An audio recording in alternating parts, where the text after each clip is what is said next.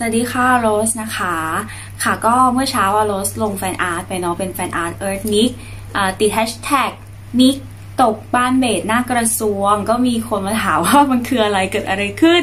เออมีเหตุการณ์อะไรเกิดขึ้นหรอ ก็บางคนอาจจะไม่ได้เล่น Twitter เนาะก็ไม่รู้ว่าตอนนี้มีเหตุการณ์อะไรทาง Twitter บ้างนะคะ ก็เดี๋ยวโรสมาเล่าให้ฟังแล้วกันถือเป็น moment เอิร์ธมิกซ์แล้วกันเนาะสำหรับแฮชแท็กมิกซ์ตบบ้านเบสหน้ากระทรวง เมื่อวานนี้ น้องมิกซ์เขาได้มี cover เพลงนิทานพันดาวนะคะ เป็นเวอร์ชั่นครูสีเทียน ได้ปล่อยออกมาให้เราได้ฟังได้ชมกันแล้วนะคะ ก็สามารถหาฟังหาชมได้เลย และทีนี้พอน้องเขามีผลงาน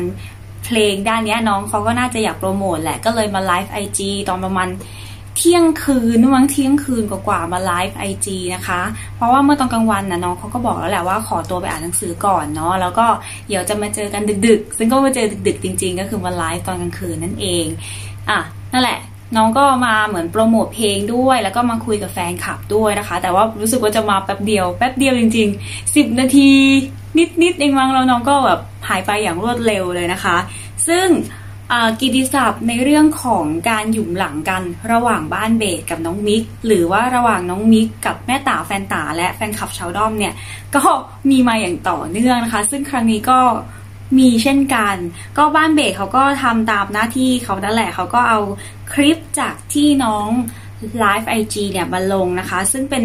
part ตอนที่เหมือนกับว่าน้องมิกซ์เขาร้องเพลง นิทานพันดาว แต่ทำเสียงแบบฮาฮาตลกตลกอะร้องใช่ไหมแล้วก็เนาะ บ้านเบกก็ทวิตว่าเปิดมาด้วยเสียงน่ารักมากครับเออกระแท็กน้องมิกไป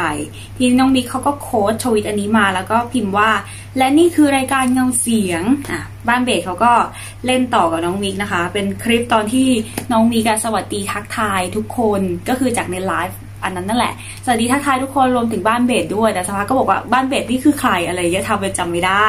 อ่าบ้านเบสเขาก็เอามาทวิตแล้วก็เขียนว่าลืมสิ้น ซึ่ง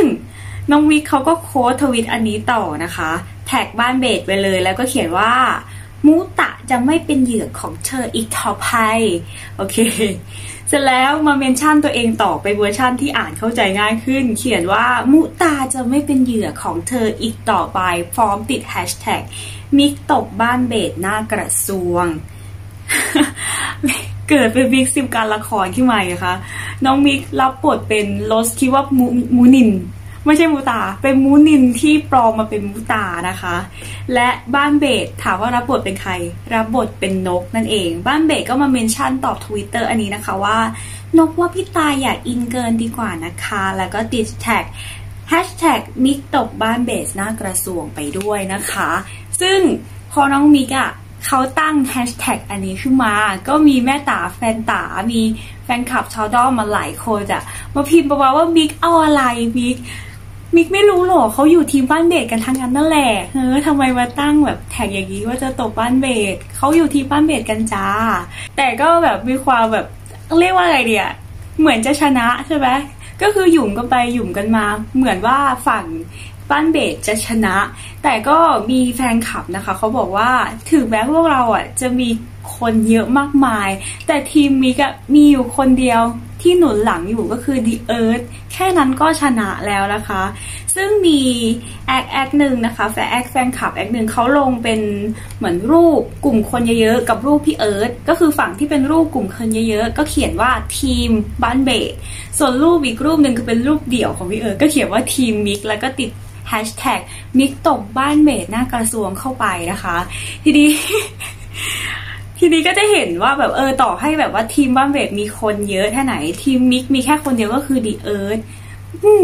จริงๆ เราแพ้ใจพี่เอิร์ธอยู่แล้วแหละ ซึ่งน้องมิกซ์นะคะเขาก็คงจะเห็นด้วยนะคะเขาก็มา mention ตอบทวิตอันนั้นด้วยว่า แค่นี้ก็แพ้แล้วไหมโครงการมิกซิวชนะมาอีกแล้ว โครงการมิกซิวชนะมาอีกแล้ว พอน้องมิกซ์ตอบอย่างนี้แล้ว ก็พวกเราชาวด้อมได้ประจักษ์ว่า ต่อให้น้องมิกซ์มีอ่า supporter ผู้เล่นทีมแค่คนเดียวคือพี่เอิร์ธนะ ก็ชนะพวกเราไปแล้ว ชนะไปแล้วจริงๆ energy การขิงของน้องเนี่ย ก็พอๆกับคำว่าไว้แพ้คำนั้นเลย ยังจำได้ใช่ไหมคะ ที่แฟนคลับบอกว่าน้องมิกซ์ไม่มาประมูลรูปหรอกเพราะว่ายังไงพี่เอิร์ธก็ต้องวาดให้อยู่แล้ว ซึ่งน้องมิกซ์ก็มาตอบว่าไว้แพ้เอเนจีเดียวกันเลยค่ะอันนี้อยากให้ดูบางอันที่ ชาวด้อมเขาแบบว่าเอามาติดแฮชแท็กไว้นะโรสก็ชอบอยู่แล้ว ก็มีตลกตลกฮาๆอยู่หลายอันอยู่เหมือนกัน อย่างเช่นอันนี้อันนี้ก็ตลก อันนี้เขาเอารูปตอนที่พี่เอิร์ธแบบไปเหมือนกับว่าไปบริจาคเนาให้กับมูลนิธิโรงพยาบาล แล้วก็น่าจะคุยกับบุคลากรทางการแพทย์ หรือว่าบุคลากรในพื้นที่นั้นอยู่ ซึ่งเขาก็ติดว่าแบบว่าแทนว่า แต่ละคนอะเป็นชาวด้อม เป็นแม่ตาเป็นแฟนตาและเป็นบ้านเบสซึ่งพี่เอิร์ธเหมือนกำลังยืนเจรจาอยู่ แล้วก็เขาก็เขียนว่าพี่เอิร์ธบอกว่าผมอยากให้ทุกคนหันมาอยู่ทีมมิกซ์กับผมครับเหมือนพยายามเจรจาตลกอันที่ตลกมากอันนี้ก็ฮาเขาบอกว่าพรุ่งนี้ขึ้นหน้าหนึ่งทุกสำนักข่าว ก็เป็นแบบเหมือนกับว่ามีมิกซิวมีบ้านเบสแล้วก็มีแฟนคลับไปโหนกระแสกันอะไรอย่างนี้ก็ตลก ตลกตลก เมื่อคืนรู้สึกว่าแบบ พี่พี่เอิร์ธน่าจะยังไม่หลับนะ เพราะว่าพี่เอิร์ธเขาลงรูปนะ ใช้ a c d a d ลงรูปของน้องไบรตันด้วยนะคะ ว่าแบบว่า เออ ตอนนี้น้องไบรตันอ้อนเป็นแล้วนะนู่นนี่นั่นโรสก็เลยคิดว่าพี่เอิร์ธน่าจะยังไม่หลับ แต่ไม่รู้ว่าได้เข้าทวิตเตอร์หรือเปล่าได้เห็นหรือเปล่าว่าเกิดอะไรขึ้นนะ ว่าทุกคนแบบถาม มีหลายมีบางคนเหมือนกัน acc tag เขาเรียกว่าอะไรอะ tag tag อัน tag ไปถามพี่เอิร์ธว่าพี่เอิร์ธอยู่ทีมมิกซ์จริงเปล่านู่นนี่นั่น แต่ว่าพี่เอิร์ธเขาก็ไม่ได้มาตอบใครนะคะ ก็เลยไม่รู้ว่ารับรู้สถานการณ์หรือเปล่า แต่โรสคิดว่าอาจจะรู้แต่ที่ไม่ตอบก็คือเป็นการยอมถือว่าเป็นการยอมรับไกลๆหรือเปล่าว่า เออก็ก็นั่นแหละเพราะยังไงก็ spoil มาแต่ไหนแต่ไรอยู่แล้วไม่ล่าน้องคนนี้ค่ะก็เป็นประมาณนี้แหละสำหรับแฮชแท็กมิกตบบ้านเบสหน้ากระทรวงนะคะ ก็เป็น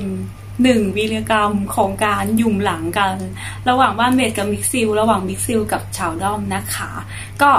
ถ้าเกิดว่าโรสพูดอะไรผิดไปหรือทำอะไรผิดพลาดก็ต้องขอโทษขออภัยด้วยนะคะ แล้วก็ขอบคุณทุกคนเลยนะคะ ที่เข้ามารับชมรับฟังกันค่ะ วันนี้ขอตัวก่อนนะคะบ๊ายบาย